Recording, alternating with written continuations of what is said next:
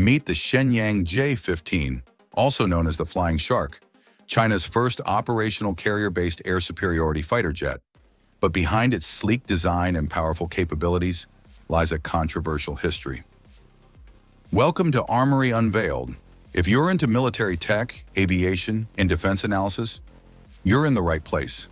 We dive deep into the latest gear, greatest machines, and untold stories from around the world. Don't forget to hit that like button, subscribe, and ring the bell so you never miss an update. Got thoughts, questions, or your own rankings? Drop a comment below. I read everyone and love hearing from you. Now let's get into it. In the early 2000s, China sought to enhance the combat effectiveness of the People's Liberation Army Naval Air Force. Their goal? Acquire advanced naval fighters for deployment on their new aircraft carriers. They turned to Russia's Sukhoi Su-33, a navalized variant of the famed Su-27. In 2001, China reportedly acquired an unfinished Su-33 prototype from Ukraine. Then in 2006, they placed an order for two Su-33s from Russia for testing and evaluation.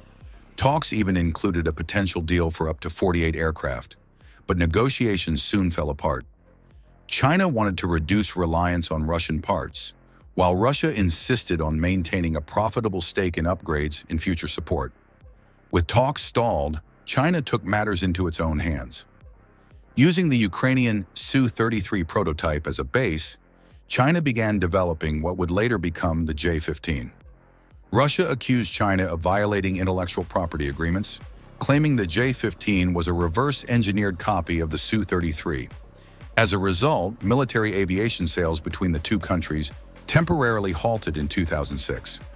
Nonetheless, China pressed on. The J-15 made its maiden flight in 2009 and officially entered service in 2013 with the Chinese Navy.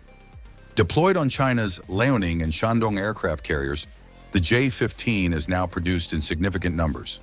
By 2021, over 50 units were in service, with an additional 55 ordered for the Fujian, China's third aircraft carrier equipped with electromagnetic catapults. Though based on the Su-33 design, the J-15 features indigenous Chinese components, engines, weapons, and advanced radar systems. In fact, it shares many design traits with the J-11, itself based on the Su-27 airframe. Compared to the Russian Su-33, the Flying Shark boasts improved performance. Top speed, 2,940 kilometers per hour versus 2,300 kilometers per hour. Range, 3,500 kilometers versus 3,000 kilometers. Service ceiling, 20 kilometers versus 17 kilometers. However, Russian officials have criticized the J-15, claiming it lacks the sophistication of the Su-33, especially in avionics and weapon systems, a claim China contests.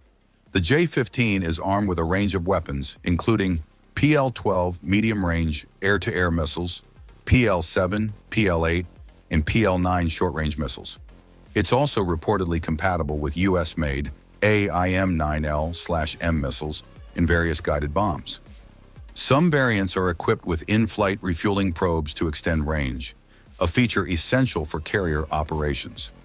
According to the aircraft's chief designer, the J-15 is capable of rivaling not just the Su-33, but also Western fighters like the Eurofighter Typhoon and FA-18E Super Hornet. Yet he acknowledges the jet's weaknesses, especially in electronic systems and the reliability of the WS-10A Taihang turbofan engines, which still lag behind Russian counterparts. There are multiple versions of the Flying Shark. J-15, the original single-seat model, first flown in 2009, entered service in 2013. J-15S, a two-seat combat trainer, first flown in 2012. J-15D, an electronic warfare variant with specialized pods and missile capability. Testing began in 2018. J-15T, a prototype with catapult-assisted takeoff, developed for carriers with EM-ALS launch systems. J-15B, a new and improved version with a redesigned airframe, ESA radar, stealth coatings, and compatibility with advanced PL-10 and PL-15 missiles. J-15G, believed to be a designation for a further upgraded model, possibly a continuation of the J-15B line. For years, the J-15 was China's only carrier-based fighter. But now, new stealth carrier jets are rumored to be in development, signaling the next step in China's ambitions at sea. The Flying Shark may have started in controversy, but it's now a cornerstone of China's growing naval air power, poised to challenge the world's best in carrier-based aviation. If you enjoyed this video, don't forget to give it a thumbs up, subscribe for more content like this, and hit the bell icon so you never miss an upload. Got thoughts or questions? Drop them in the comments. I'd love to hear what you think.